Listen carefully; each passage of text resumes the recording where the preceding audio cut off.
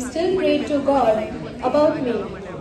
I found the screenshot you sent me of all the things we needed to do when we go to my favorite places someday. I didn't think you would have taken my two thoughts so seriously.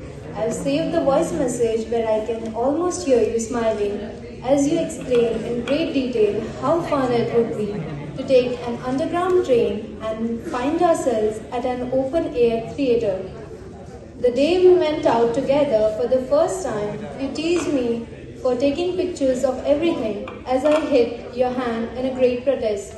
I'm saving your picture from cafe where we sipped our coffees. I, I walked back home that day hoping that this works out perfectly. Lastly, I'd be saving that video that you sent to me where you recorded yourself playing Happy Birthday song on guitar. It wasn't either of our birthday, but it, it was the only thing you could play then, and it still makes me laugh. I watch it from time to time when I need to see your face. I'm getting off track. I know one of these days we'll stop talking. It'll happen surely, if not immediately, and I hope it'll still be okay. Thank you.